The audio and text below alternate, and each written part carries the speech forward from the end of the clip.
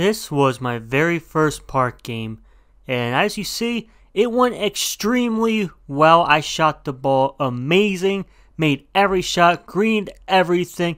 Now, we lost barely in spite me shooting very poor, but how did I respond? Did I A. Cry on Twitter to Mike Wang to buff the shooting? B uninstall NBA 2K21 because I am now trash and the game patched me? Or C, did I just go, hey, I just need to get better, learn how to play the game, and learn to practice my shot and get better at shooting and mostly get better at the game? I chose C and it got me a 91.2 win percent with a 59 three point field goal percentage and a 41.3 three point percentage. And four of my losses were from lagouts. So just know that my record could be better, but you know, unfortunate things happen. But the point is, my record is pretty damn good, and my percentages are definitely better than the average player. And I'm going to tell you why shooting should not get buffed and how you can become a better shooter. But first, I am a big fan of Amazon Prime Video's hit show The Boys. And for those that don't know, they have a season 2 and it came out the same day as NBA 2K21. 2K, y'all are wrong for that. And you dropped a double rep weekend, so there was no way for me to even watch an episode, except for when it seemed like you guys had a broken park, and I actually got to watch one episode, and then I get a text, hey, the parks are working, we figured out how to get into a working park. So I am yet to even get through these three episodes that are on Prime Video. So, no spoilers or you are blocked. I'm just saying that I haven't really had time to watch The Boys because my grind has been real. I hit All-Star 2 and my life has revolved around 2K, YouTube, and Twitch, my holy trinity. Speaking of which, if you're not subscribed, I'm on the road to 6K, so hit that subscribe button, turn on post notifications so you don't miss an upload, and link down below for my Twitch. Make sure you hit me with a follow. This All-Star 2 stream, guess what? That stream was seven and a half hours. So, when I do stream, I stream for a long time, and I stream often. I might even be streaming right now. So, check it out after this video. Make sure you hit me with that follow. But Quill wrote a tweet talking about the people saying that 2K21 was their year and they already quit. And I said, oh word? Because I've been consistent with the uploads this month and since 2K21 has come out and with the streams as well. Make sure you follow me on Twitch. I got to prove Quill wrong. 2K21 is indeed my year. And you know what? Even if it's not, I am damn well gonna make a reasonable effort to make it my year. I talked way too much. A lot of you probably left. And a lot of you are probably talking about video starts at insert timestamp and my bad. Let's get into what this video is about and that is the shooting. Alright Lock 'em Up Nation. For those that strictly watch me on YouTube, this is your first time seeing me play Park. By the way, this gameplay is from my stream, so make sure you follow my Twitch because people that follow me on Twitch, they actually got to see me play Park in 2K21. But most YouTubers would show their best gameplay, shooting 5 for 5, 7 for 7 from 3, but I'm not going to do that. I'm going to show y'all gameplay where I miss some shots, but I do shoot relatively well. But I don't trip when I miss. I don't go, this game is trash. I don't complain about me being bad shooting and mistiming the shot. You're going to see on this possession right here, we're actually moving the ball pretty well. And I'm going to end up with a good look off the catch. But I mistimed the shot and I brick. But I do not trip. We get up a transition dunk. We're down 4-2 early. But watch how I respond. You know, get my speed boost on behind the back. And I have enough time to set my feet and green for the cashola baby. Speaking of Cashola Baby, I got my Cashola Baby emote approved on Twitch. So make sure you follow me on Twitch and even subscribe so you can get access to that awesome emote. But the thing with shooting is, I think if anything, it could use a little nerf. Maybe not the mechanics with the green window and stuff. The green window is fine. But the amount of whites that go in are absurd. And you see me make a white right there. I make a lot of whites, especially close shots, baseline. That is your best friend. If you're struggling to make shots and you're on a shocker, any, basically any shooting build with 80 something, 90 something shooting, just do fades. Put on difficult shots and you see that BS bump steal. But do fading shots from close range. They go in so much. Now, close range shots, a lot of people say they need, they need to be nerfed.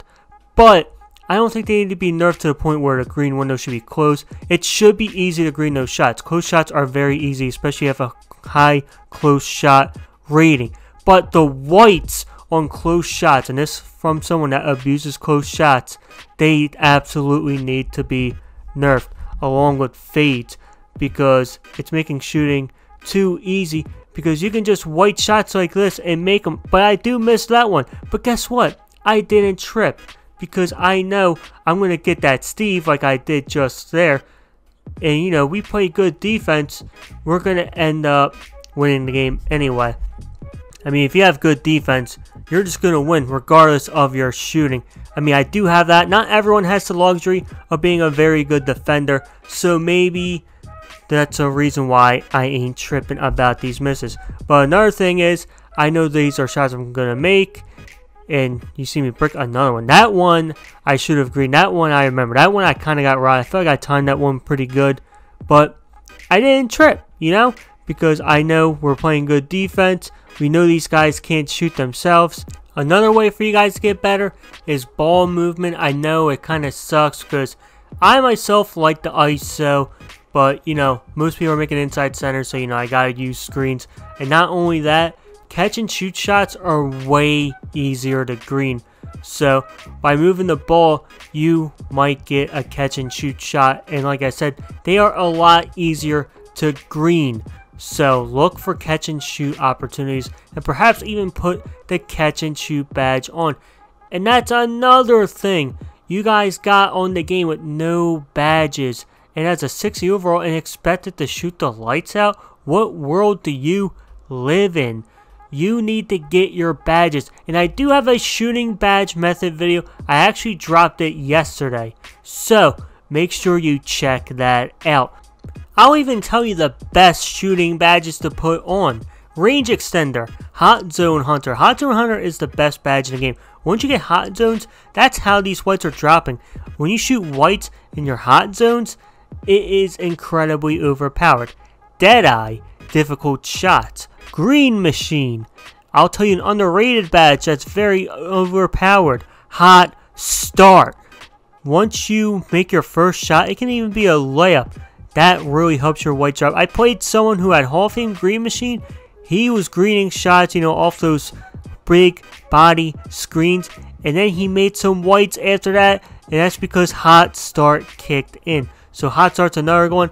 Another great badge is Hall of Fame Volume Shooter you get a boost to your shot the whole game because you're shooting shots and it helps you make whites. G-Size uses it on Hall of Fame and G-Size makes more whites than anyone I've seen in 2K21. So if G-Size is using it, chances are you should be using it too because G-Size, as we all know, is one of the top guards. But all in all, I recommend you find a jump shot that works for you and you just shoot around and get better. I've been shooting around in the Pro Am and you can change the difficulty to Hall of Fame. I put it on Hall of Fame because, you know, if I can consistently green shots on Hall of Fame, then I should be able to go to the park and green no problem because park is not on Hall of Fame, even though it might seem like it to a lot of people. And you see that air bar right there. That's the risk of shot aiming, by the way, people. But I see people are godly with that. You know, the right stick aiming, that needs to be nerfed to hell because I just saw a guy hours ago beat Ticino with five straight whites using the shot aim. It was just painful to watch, especially since I know Ticino is a lot more skilled than that guy that beat him with all those whites. So, I think 2K needs to nerf whites. I don't know if they will because they don't want to piss off the casuals even more than they already have. But do not make it easier to green because then these, damn, another airball. These lockdowns, these insides, they are going to be able to green shots and that will lower the skill gap and just lower the point of making shooting builds. Speaking of which, play shot was actually a rare breed. You know, in 2K20, everyone was a two-way slashing playmaker. Making shots became rare, and they were considered a skilled build. Maybe not if you use screens, but isoing with a play shot takes a lot more skill than a slasher, because we don't get as much finishing. In 2K20 and even 2K19, I was a god at isoing with a playmaking shot creator. Just funny how the play shots get clowned now, but in 2K20, a lot of people stuck with their play shots when everyone else was making two-way slashing playmakers. Like, hello? And to be a playmaking shot creator and absolutely box up a two-way slashing playmaker, getting at most 9 defensive badges, that takes skill in of itself. I mean, I made a play shot knowing damn well slashers were getting nerfed and paint defense was getting a buff. And I knew that screens would be a big meta, and that's why my cousin Exo made a paint piece, and that is why I made a play shot because those were just the safe builds to make. We knew outside centers, you know, people were going to struggle in the beginning of the year to shoot, so play shot gets a high jump shot rating, and center, inside center, you know, they'll grab your rebounds and set mean screens. Also, another thing I wanted to point out is it seems like the threshold for making every white, especially without the shot meter, which, oh my god, that needs a nerf too. You need to have a 90 plus 3 ball rating to make every white. I feel like if you have below a 93 or 90 mid, you have to green every shot just about. That's how it seems to me. Sharpshooters, sharp facilitators, they make every damn white. That's all I lose to thus far. And you saw my win percent. Alright, so this video is kind of long and I apologize. And I kind of repeat myself, but you guys get my point. I definitely think whites need a drastic nerf, especially the white close shots and with the aiming thing. It is just annoying to lose to. Because, you know, shooting is supposed to have a skill gap. Greening shots actually takes skill. The green window is actually very small, even for high shooting builds. And I like that. Shooting should be difficult. So all I ask is 2K, please nerf whites and 2K community. Everyone watching this video, find a jump shot you're comfortable with and practice it. I will reveal my jump shot. I know I'm not the best shooter, but I definitely feel like I'm shooting better than the average player. You know, there's a lot of people that are shooting 30, 20, even 10%. I've seen 5%. So, the fact that I shoot above 40% and I will be in the 50s and even the 60s eventually because I am getting better and better at shooting. I am very passionate about getting good at shooting because shooting, at least greening, has a skill gap and I definitely want to be one of the better shooters in the game. And I want to make it known that I am a really good player. No, I was a top player in 2K16, but a lot of you are new to the community, and a lot of people don't seem to remember how good I am. So it's time that I wake everybody the hell up. I'm actually releasing my jump shot soon, and like I said, I have a shooting badge method. If you don't have your shooting badges, you can get your shooting badges easily. Another easy way to shoot is off quick stopping, and I will release a video on quick stopping and I will give you a sneak peek of my shot. I'm not going to tell you the jump shot, but I will tell you the fade I use is Steph Curry. You know, moving shots is your best friend. You only really need a regular jump shot. Just fade for mid and close shots, and you will win as long as you play good defense. But I hope I got through to some of you that want shooting buffed. Just practice your shot, man. We want a skill gap 2K, man.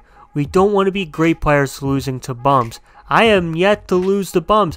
Every team I lost to, they were all solid teams. So, please 2K, keep the skill gap. But I hope you guys enjoyed this long video. Make sure you hit that like button, hit that subscribe button, turn on post bell notifications if you're new. And make sure you follow me on Twitch if you haven't already. But here's some videos on the end screen. Click one of those and I will see you there. Or I will see you on the next one. But till next time, I am out. Peace!